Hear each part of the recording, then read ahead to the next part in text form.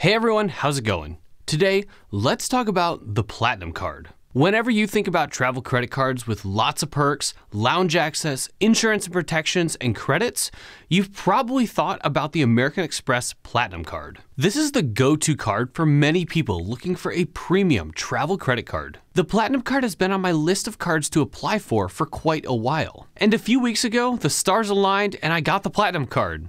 But not in the usual way. Let's dive in and I'll tell you all about it. Real fast, just wanted to give a shout out to everyone that's subscribed to this channel and been a part of this community. If you want to help me reach 1,000 subscribers, hit that subscribe button down below. Alright, back to credit cards. The Platinum card is one that I have wanted for many years. The Amex Gold has been in my wallet for quite a while now, so I've thought about getting the Platinum card to start building the Amex trifecta. I'm a big fan of American Express membership rewards points and their transfer partners. So completing the trifecta would give me the best way to earn MR points fast. But for a little while now, I've been over Chase 524 and unable to be approved for a Chase credit card. So I've been holding off on getting the Platinum card until I've gotten a few Chase credit cards.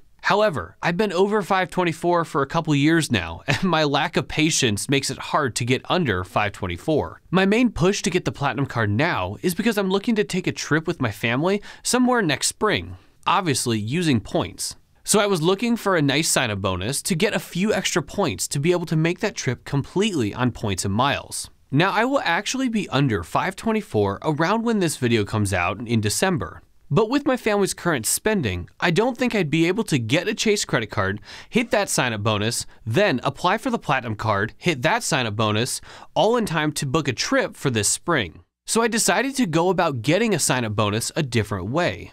If you've been around the credit card world long enough, you've probably heard the terms product change, also known as upgrade or downgrade. This is when you take one credit card and request that your credit card issuer change that card to a different one.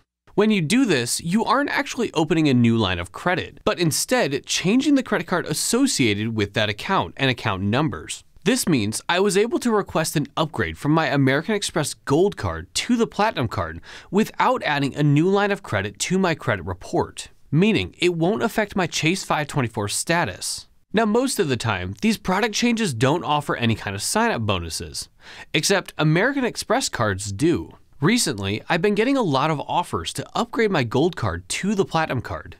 In the past, these offers have been for 40,000 points, 50,000 points, and sometimes 75,000 points. However, one day I logged onto my American Express account and was greeted with a 100,000 membership reward point upgrade offer. It wasn't the 125,000 or 150,000 offers that I've seen before, but it was a chance to get a bonus without opening a new card. So I took that offer. This offer was also great because it only required me to spend $6,000 in six months compared to the standard offer, which requires now $8,000 in six months. So, besides that massive sign up bonus, is the Platinum card worth it?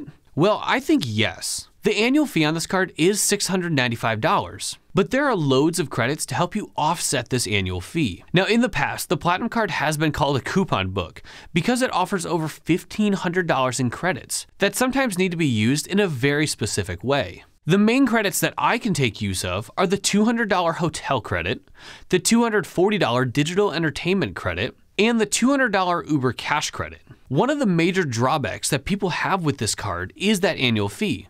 And that's fair, $695 is a high number. But when we calculate the effective annual fee, which is the true cost of owning the card after we factor in all of the credits that we can use, this card will only cost me $55, which is way more manageable. The other credits that the Platinum Card offers are a $200 airline fee credit, a $155 Walmart Plus credit, a $100 Saks credit, a $300 Equinox credit, a $189 Clear credit, a fee credit for TSA PreCheck or Global Entry, and a $300 credit towards the purchase of a SoulCycle at home bike. Now, with the Platinum Card, you're going to earn membership rewards points. These points are valued at 1 cent per point, which makes the welcome offer on the Platinum Card pretty valuable. For me, my 100,000 point upgrade bonus is worth $1,000. I made a video a while back talking about all the different ways that you can earn membership rewards points.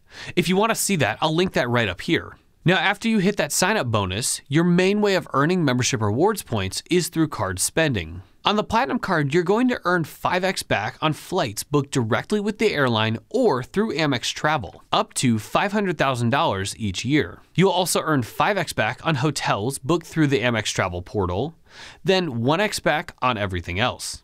With the Platinum card, you're going to receive quite a few perks and benefits for when you're traveling. Let's start off with a big one lounge access. The Platinum card is definitely king when it comes to the amount of lounges you can get into with this card. Starting off with the American Express Centurion Lounge, which offers drinks, food, and other amenities for those who have been traveling. The Platinum Card offers you unlimited access to the Centurion Lounge. You can bring up to two guests or immediate family with you into the lounge, but you'll have to pay $50 a person or $30 for children 2 to 17. You'll earn complimentary guest access if you spend $75,000 or more on your Platinum Card in a calendar year. The next lounge you'll have access to is the Delta Sky Club. There's been some drama lately around Delta and their new changes to the SkyMiles program, including access to the Delta Sky Club. Currently, Platinum Card holders have unlimited access to the Delta Sky Club, but beginning February 1st, 2025, the Platinum Card will be limited to 10 visits per year. You can earn unlimited access by spending $75,000 on the card in a calendar year, which is why the date for these changes begins 2025, giving you at least a year to hit that threshold. I also want to point out that a visit includes access to the lounge within a 24 hour period. Other lounges you have access to are escape lounges, Lufthansa lounges, Plaza Premium lounges, and Priority Pass Select lounges. Now, the Platinum Card also offers a few perks for hotels that can really help elevate your hotel experience. First, you're going to receive gold status with both Hilton and Marriott.